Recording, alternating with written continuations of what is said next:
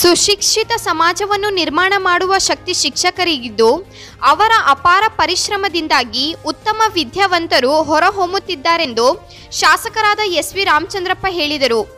ಪಟ್ಟಣದ ಗುರುಭವನದಲ್ಲಿ ಭಾನುವಾರ ಮಾಜಿ ರಾಷ್ಟ್ರಪತಿ ಸರ್ವಪಲ್ಲಿ ಡಾಕ್ಟರ್ ರಾಧಾಕೃಷ್ಣನ್ ಅವರ ನೂರ ಮೂವತ್ತ್ಮೂರನೇ ಜನ್ಮ ದಿನಾಚರಣೆಯ ಪ್ರಯುಕ್ತ ಹಮ್ಮಿಕೊಂಡಿದ್ದ ಶಿಕ್ಷಕರ ದಿನಾಚರಣೆ ಕಾರ್ಯಕ್ರಮದ ಉದ್ಘಾಟನೆ ನೆರವೇರಿಸಿ ಮಾತನಾಡಿದ ಅವರು, ಗುರುಭವನದ ಅಭಿವೃದ್ಧಿಗೆ ಇದುವರೆಗೂ ಯಾರೂ ಸಹ ನನ್ನ ಗಮನಕ್ಕೆ ತಂದಿಲ್ಲದಿದ್ದರೂ ನಾನೇ ಸ್ವತಃ ಶ್ರದ್ಧೆ ವಹಿಸಿ ಶಿಕ್ಷಕರ ಯೋಗಕ್ಷೇಮಕ್ಕಾಗಿ ಅಭಿವೃದ್ಧಿಗೊಳಿಸಲು ಕ್ರಮ ಕೈಗೊಳ್ಳಲಾಗಿದ್ದು ಮುಂದಿನ ವರ್ಷದೊಳಗೆ ಗುರುಭವನದ ಮುಂಭಾಗದಲ್ಲಿ ರಾಧಾಕೃಷ್ಣನ್ ಅವರ ಕಂಚಿನ ಪ್ರತಿಮೆ ಪ್ರತಿಷ್ಠಾಪಿಸಲಾಗುವುದು.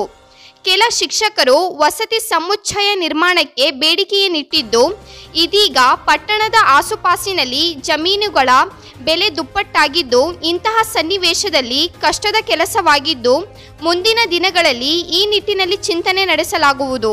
ಶಿಕ್ಷಕರ ವೃತ್ತಿ ಧರ್ಮ ಪಾಲನೆ ಹಾಗೂ ವಿದ್ಯಾರ್ಥಿಗಳ ಬಗ್ಗೆ ಅಪಾರ ಕಾಳಜಿ ವಹಿಸುವುದರ ಪರಿಣಾಮವಾಗಿ ಸತತ ಮೂರನೇ ವರ್ಷವು ತಾಲೂಕು ಎಸ್ಎಸ್ಎಲ್ಸಿ ಫಲಿತಾಂಶದಲ್ಲಿ ಜಿಲ್ಲೆಯಲ್ಲಿಯೇ ಪ್ರಥಮ ಸ್ಥಾನ ಪಡೆದಿರುವುದು ಹೆಮ್ಮೆಯ ಸಂಗತಿಯಾಗಿದೆ.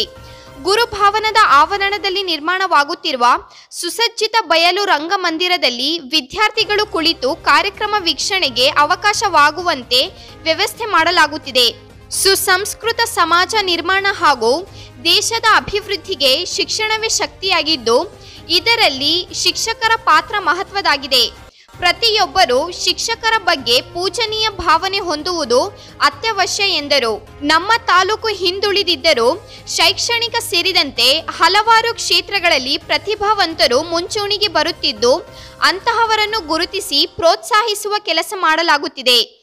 ಈ ಯೋಜನೆಗೆ ಈಗಾಗಲೇ ಸಾವಿರದ ಇನ್ನೂರು ಕೋಟಿ ರೂಪಾಯಿ ಮಂಜೂರಾಗಿದ್ದು, ಈ ಯೋಜನೆಯಿಂದ ತಾಲೂಕಿನ ನಲವತ್ತಾರು ಹೆಕ್ಟರ್ ಪ್ರದೇಶ ತುಂತುರು ಹನಿ ನೀರಾವರಿಯಾಗಲಿದೆ ಎಂದು ಹೇಳಿದರು. ಬಿಇಒ ದಾರುಕೇಶ್ ಮಾತನಾಡಿ ಈ ದೇಶದ ಶಿಕ್ಷಣ ತಜ್ಞ ಹಾಗೂ ಮಾಜಿ ರಾಷ್ಟ್ರಪತಿ ಸರ್ವಪಲ್ಲಿ ರಾಧಾಕೃಷ್ಣನ್ ಅವರು ಸಾವಿರದ ಎಂಟುನೂರ ಎಂಬತ್ತೆಂಟರಲ್ಲಿ ಜನಿಸಿದ್ದು, ಶಿಕ್ಷಕರಾಗಿ ತಮ್ಮ ವೃತ್ತಿ ಆರಂಭಿಸಿ ಶಿಕ್ಷಣ ಕ್ಷೇತ್ರದಲ್ಲಿ ಅಪಾರ ಸೇವೆಯನ್ನು ಸಲ್ಲಿಸಿದ್ದಾರೆ. ಅವರ ಸೇವೆಯನ್ನು ಗುರುತಿಸಿ ಅವರ ಜನ್ಮ ದಿನಾಚರಣೆಯನ್ನು ಆಚರಿಸಲು ಬಂದವರಿಗೆ ನಾನು ಹುಟ್ಟಿದ ದಿನವನ್ನು ಶಿಕ್ಷಕರ ದಿನವನ್ನಾಗಿ ಆಚರಿಸಿ ಎಂದು ಸಲಹೆ ನೀಡಿದ ಧೀಮಂತ ವ್ಯಕ್ತಿಯ ಸ್ಮರಣಾರ್ಥವಾಗಿ ಶಿಕ್ಷಕರ ದಿನಾಚರಣೆ ಆಚರಿಸಿಕೊಂಡು ಬರಲಾಗುತ್ತಿದೆ. ತಾಲೂಕು ಸಾಮಾಜಿಕ, ಶೈಕ್ಷಣಿಕ ಹಾಗೂ ಭೌಗೋಳಿಕವಾಗಿ ಹಿಂದುಳಿದಿದೆ. ತಾಲೂಕು ಸಮಗ್ರ ನೀರಾವರಿಯಾದರೆ ಆರ್ಥಿಕವಾಗಿ ಸದೃಢರಾಗುವ ಮೂಲಕ ಇಲ್ಲಿನ ಜನಸಾಮಾನ್ಯರು ತಮ್ಮ ಮಕ್ಕಳಿಗೆ ಉತ್ತಮ ಶಿಕ್ಷಣ ಕೊಡಿಸಲು ಸಾಧ್ಯವಾಗಲಿದೆ. ಕೊರೋನಾ ಮಹಾಮಾರಿಗೆ ಒಂಬತ್ತು ಜನ ಶಿಕ್ಷಕರು ಬಲಿಯಾಗಿರುವುದು ದುಃಖಕರವಾದ ಸಂಗತಿಯಾಗಿದ್ದು, ಇದೀಗ ಮೂರನೇ ಅಲೆಯ ಭೀತಿಯ ನಡುವೆ ಒಂದೂವರೆ ವರ್ಷದ ನಂತರ ಶಾಲೆಗಳು ಪುನಃ ಆರಂಭಗೊಳ್ಳುತ್ತಿದ್ದು, ಗ್ರಾಮ ಪಂಚಾಯಿತಿ ಅಭಿವೃದ್ಧಿ ಅಧಿಕಾರಿಗಳ ಸಹಕಾರದೊಂದಿಗೆ ಶಾಲೆಗಳನ್ನು ಸ್ಯಾನಿಟೈಸ್ ಮಾಡಿಸಲಾಗುತ್ತಿದೆ. ಮಕ್ಕಳ ಯೋಗಕ್ಷೇಮದ ದೃಷ್ಟಿಯಿಂದ ಅಗತ್ಯ ಮುಂಜಾಗೃತ ಕ್ರಮಗಳನ್ನು ಕೈಗೊಳ್ಳಲಾಗುತ್ತಿದ್ದು, ಪೋಷಕರು ಸಹ ತಮ್ಮ ಮಕ್ಕಳ ಆರೋಗ್ಯದ ಬಗ್ಗೆ ಕಾಳಜಿ ವಹಿಸಬೇಕಿದೆ. ಸಮಾಜದ ಕಟ್ಟಕಡೆಯ ಮಗುವಿಗೂ ಗುಣಾತ್ಮಕ ಶಿಕ್ಷಣ ಸಿಗಬೇಕೆಂಬ ಸದುದ್ದೇಶದಿಂದ ಶಿಕ್ಷಕರು ಕಾರ್ಯನಿರ್ವಹಿಸುತ್ತಿದ್ದಾರೆ ಎಂದು ಹೇಳಿದರು.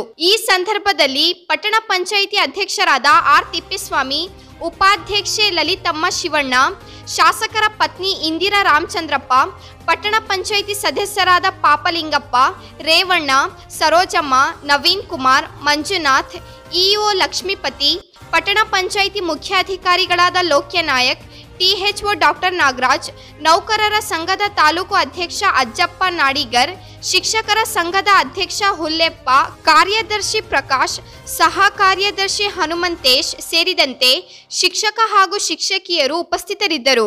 ನಿರಂತರ ಸುದ್ದಿಗಾಗಿ ನಮ್ಮ ಜಗಳೂರು ಚಾನೆಲ್ಗೆ ಸಬ್ಸ್ಕ್ರೈಬ್ ಆಗಿಲ್ಲ ಅಂದರೆ ಸಬ್ಸ್ಕ್ರೈಬ್ ಆಗಿ, ಪಕ್ಕದಲ್ಲಿರುವ ಬೆಲ್ಲೈಕನ್ನ ಪ್ರೆಸ್ ಮಾಡಿ, ಈ ವಿಡಿಯೋನ ಲೈಕ್ ಮಾಡಿ ಮತ್ತು ನಿಮ್ಮ ಫ್ರೆಂಡ್ ಜೊತೆ ಶೇರ್ ಮಾಡಿ.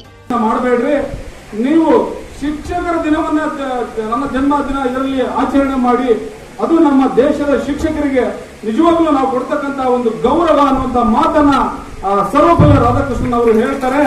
ಈ ದೇಶದ ಶಿಕ್ಷಕರಿಗೆ ಅತ್ಯಂತ ಉನ್ನತ ಗೌರವವನ್ನು ತಂದುಕೊಟ್ಟಂತ ವ್ಯಕ್ತಿ ಡಾಕ್ಟರ್ ಸರ್ವಪಲ್ಲಿ ರಾಧಾಕೃಷ್ಣನ್ ಅವರು. ಅವರ ಒಂದು ಜನ್ಮ ದಿನಾಚರಣೆ ಅಂಗವಾಗಿ ಶಿಕ್ಷಕರ ದಿನಾಚರಣೆಯನ್ನು ನಾವು ಇವತ್ತು ಆಚರಣೆ ಮಾಡ್ತಾ ಇದ್ದೇವೆ. ಸಾವಿರದ ಒಂಬೈನೂರ ಅರವತ್ತೈದರಲ್ಲಿ ಸ್ವಾತಂತ್ರ್ಯ ಪೂರ್ವದಿಂದಲೂ ಇಂದಿನ ದಿನಾಂಕದವರೆಗೆ ನಮ್ಮ ಜಗಳೂರು ತಾಲೂಕಿಗೆ ಇವತ್ತು ಅನೇಕ ವಿಚಾರಗಳಲ್ಲಿ ಸಾಮಾಜಿಕವಾಗಿ, ಶೈಕ್ಷಣಿಕವಾಗಿ, ಒಂದು ಭೌಗೋಳಿಕವಾಗಿಯೂ ಕೂಡ ನಾವೆಲ್ಲ ಒಂದು ರೀತಿಯಲ್ಲಿ ಹಿಂದುಳಿದಿದ್ದೇವೆ. ನಮ್ಮ ಊರಿಗೆ, ನಮ್ಮ ಗ್ರಾಮಕ್ಕೆ, ನಮ್ಮ ತಾಲೂಕಿಗೆ ಕುಡಿಯುವ ನೀರಿಲ್ಲ. ಒಳ್ಳೆಯ ಕುಡಿಯುವ ನೀರು ನಮ್ಮ ತಾಲೂಕು ಇಲ್ಲ. ಶಾಪಗ್ರಸ್ತ ತಾಲೂಕಾಗಿರುವಂತಹ ತಾಲೂಕಿಗೆ ತುಂಗಭದ್ರೆಯನ್ನ ಭದ್ರೆಯನ್ನ ಹರಿಸಬೇಕು ಅಂತ ಹೇಳಿ ಪಣವನ್ನು ತೊಟ್ಟು ಇವತ್ತು ನಮ್ಮ ಶಾಸಕರು ಸಾವಿರದ ಮುನ್ನೂರು ಕೋಟಿ ರೂಪಾಯಿಗಳ ಒಂದು ಅನುದಾನವನ್ನು ಕೊಟ್ಟು ಭದ್ರಾ ಮೇಲ್ದಂಡೆಯನ್ನು ತಂದು ಕೊಡ್ತಾ ಇದ್ದಾರೆ. ನೀವು ಕೇಳಬಹುದು ಸರ್, ಶಿಕ್ಷಕರ ದಿನಾಚರಣೆಗೂ ಭದ್ರಾ ಮೇಲ್ದಂಡೆಗೂ ಏನ್ ಸರ್ ಸಂಬಂಧ? ಸಂಬಂಧ ಇದೆ. ಸಂಬಂಧ ಇದೆ, ಸ್ನೇಹಿತರೆ. ಎಲ್ಲಿ ಒಂದು ವಿದ್ಯಾರ್ಥಿ, ಒಂದು ಮಗು, ಆ ಮಗು ಶಾಲೆಗೆ ಬರಬೇಕಾದ್ರೆ ಅವನ ಮುಖ ನೋಡ್ಬೇಕು, ನೀವು ಬಹಳ- ಬಹಳಷ್ಟು ಬಡ ಕುಟುಂಬಗಳಿದ್ದಾವೆ ನಮ್ಮ ತಾಲೂಕಿನಲ್ಲಿ. ಬಹಳಷ್ಟು ಸದೃಢವಾಗಿರ್ಬೇಕು, ಮಾನಸಿಕವಾಗಿ ಸದೃಢವಾಗಿರ್ಬೇಕು ಮಗು. ಮಗು ಚೆನ್ನಾಗಿದ್ರೆ ನಾವು ಶಿಕ್ಷಣವನ್ನು ಕೊಡಕ್ ಸಾಧ್ಯ. ಅವನಿಗೆ ಊಟಕ್ಕೆ, ಅವನಿಗೆ ಬಟ್ಟೆಗೆ, ಅವನು ಜೀವನ ಮಾಡಕ್ಕೆ ತಾತ್ವರ ಇದ್ದಾಗ. ನಮ್ಮ ಮೇಷ್ಟ್ರು ಎಷ್ಟೋ ಸಾರಿ ಶಾಲೆಗೆ ಬಿಟ್ಟು ಮಕ್ಕಳದು ಕೆಲಸದಲ್ಲಿ ಮಾಡಕ್ಕೆ ಕೆಲಸ, ಕೂಲಿ ಕೆಲಸ ಮಾಡಕ್ಕೆ ಮಕ್ಕಳು ಹೋದಾಗ ನಮ್ಮ ಮೇಷ್ಟ್ರು ಕರ್ಕೊಂಬರಕ್ ಹೋಗ್ತಾರೆ. ಹೋದಂತ ಸಂದರ್ಭದಲ್ಲಿ ಮೇಷ್ಟ್ರೆ ಕೂಲಿ ಕೊಡ್ತೀರಾ ನೀವು? ಕೂಲಿ ಕೊಡ್ತೀರಂದ್ರೆ ನಾವು ಶಾಲೆ ಕಳಿಸ್ತೀವಿ, ನಮ್ಮ ಮಗನ ಕೂಲಿ ಕೊಡ್ತೀರಾ ಅಂತ ಕೇಳ್ತಾರೆ. ಆವಾಗ ನಾವು ಬಾಯಿ ಕಟ್ಟೋಗುತ್ತೆ ಒಂದು ವೇಳೆ ನಮ್ಮ ತಾಲೂಕಿಗೆ ಒಂದು ಒಳ್ಳೆ ನೀರಾವರಿ ಸೌಲಭ್ಯ ಬಂದ್ರೆ, ಆ ಒಂದು ಕುಟುಂಬ ಒಳ್ಳೆ ರೀತಿಯಲ್ಲಿ, ಒಳ್ಳೆ ಚೆನ್ನಾಗಿದ್ರೆ ಬಹಳ ಖುಷಿ ಖುಷಿಯಿಂದ ಹೋಗ್ರಿ ಶಾಲೆಗೆ ಹೋಗ್ರಿ ವಿದ್ಯಾಭ್ಯಾಸ ಕಲೀರಿ ಅಂತ ಎಷ್ಟು ಸಪೋರ್ಟ್ ಮಾಡ್ತಾರೆ. ಇದು ಒಂದಕ್ಕೊಂದು ಬಹಳ ಬೆಸ್ಕೊಂಡಿದೆ. ಸಾಮಾಜಿಕವಾಗಿ, ಆರ್ಥಿಕವಾಗಿ ಶೈಕ್ಷಣಿಕವಾಗಿ ನಮ್ಮ ತಾಲೂಕು ಮುಂದುವರಿಬೇಕು ಅಂತ ಹೇಳಿದ್ರೆ ಅದು ನಮ್ಮ ತಾಲೂಕಿಗೆ ನೀರು ಬರಬೇಕು. ಆ ನೀರು ಒಳ್ಳೆಯ ನೀರು ಬಂದ್ರೆ ನಮ್ಮ ತಾಲೂಕು ಈಗ ಅಡಿಕೆ ನಾಡು ಅಂತ ಹೇಳ್ತಾರೆ ನಮ್ಮ ಚನ್ನಗಿರಿ, ನಮ್ಮ ಹೊನ್ನಾಳಿ. ಅದೇ ರೀತಿ ಮುಂದೊಂದು ದಿನ ನಮ್ಮ ಜಗಳೂರು ತಾಲೂಕು, ಇಡೀ ದಾವಣಗೆರೆ ಜಿಲ್ಲೆಯಲ್ಲಿ ಎಲ್ಲ ಕ್ಷೇತ್ರಗಳಲ್ಲಿ ಮುಂದೆ ಬರೋದಕ್ಕೆ ಯಾವುದೇ ಸಂಶಯ ಬೇಡ.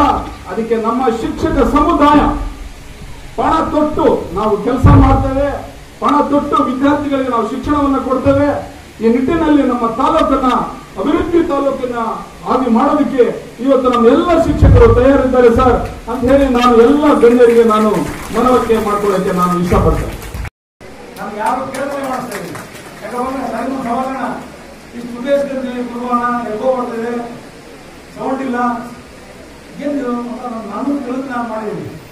ಅದು ಇಲ್ಲಿ ಒಂದು ಸುಂದರವಾದ ರಂಗಭೂಮಿ ನಿರ್ಮಾಣ ಮಾಡ್ತಾ ಇದ್ದೀನಿ. ಅದು ನಮ್ಮ ಶಿಕ್ಷಕರು ಕುಂದು ಕುರುಬರು ಎರಡು ಕೋಟಿ ರೂಪಾಯಿ ಇಷ್ಟಲ್ಲಿ ಮಾಡ್ತಾ ಇದ್ದೀನಿ. ಬೈಕ್ ರಂಗಮಂದಿರ ಎಲ್ಲ ಅಡಿಟೋರಿಯಂ ಮಾಡ್ತಾ ಇದ್ದೀನಿ. ನೀವು ಸದಾ ನಿಮ್ಮ ಶಿಕ್ಷಣ ಶಿಕ್ಷಣ ನಮ್ಮ ಸಂಘದ ಪದಾಧಿಕಾರಿ ಉಪಯೋಗಿಸ್ಕೋಬಹುದು ಅದನ್ನ ಅಚ್ಚುಕಟ್ಟಾಗಿ ಮಾಡ್ಬೇಕಂತ. ಜೊತೆಗೆ ಮಕ್ಕಳು ಆಗಸ್ಟ್ ಫಿಫ್ಟೀನ್ ಇರ್ಬೋದು ನವೆಂಬರ್ ಇರ್ಬೋದು, ಜನವರಿ ಇಪ್ಪತ್ತಾರು ಇರ್ಬೋದು. ಅವರು ಮೆಟ್ಲು ನೋಡ್ಲಿ ಅಂತೇಳಿ ತಡೆ ಗೋಡೆ ನಿರ್ಮಿಸಿ ಅದನ್ನು ಮೆಟ್ಲು ಮಾಡ್ತಾ ಇದ್ದೀನಿ. ಮುಂದೆ ಇವತ್ತು ಯಾರು ಈ ಬಿಲ್ಡನ್ನ ಈ ಗುರು ಭವನದ ಮೈದಾನನ ಅನೇಕ ರಾಜಕಾರಣ ಉಪಯೋಗಿಸ್ಕೊಂಡಿದ್ದಾರೆ.